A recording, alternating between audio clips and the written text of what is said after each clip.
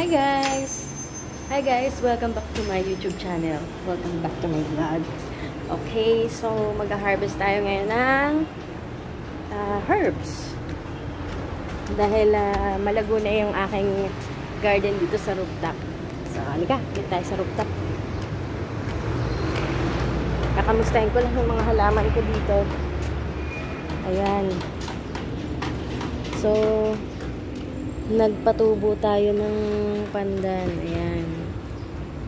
Buti na buhay yung ating ano, itong basil ko masipag tong mag, ano, ito pwede na mag-harvest nito.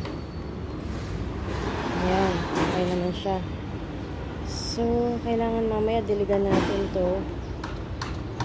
Okay.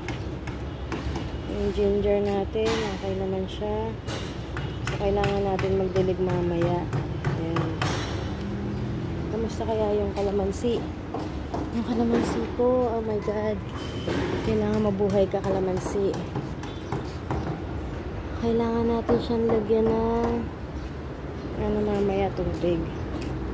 Sa banda rito, nandito yung kalamansi.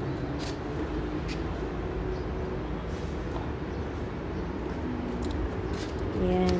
Masipag naman siyang mamulaklak. Actually, gusto ko pang magkaroon ng mas marami pang kalamansi. So, mag-harvest tayo ng ano ngayon. Ng pandan. Ng pandan.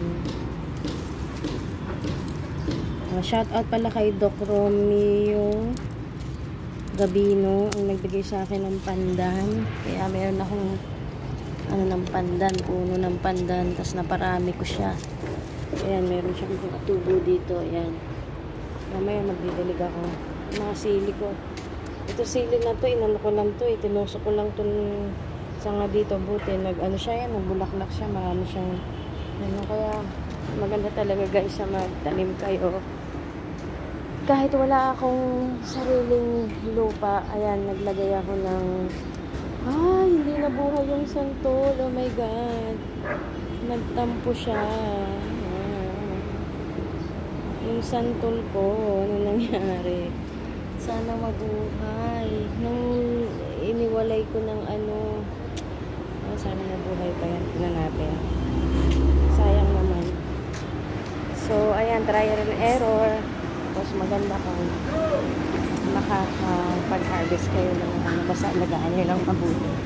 Actually, hindi naman din siyang ganun ka-maintenance. Basta once in a while, kailangan lagi mo siyang didiligan tsaka sapat na araw. Okay? So, thank you very much for watching guys.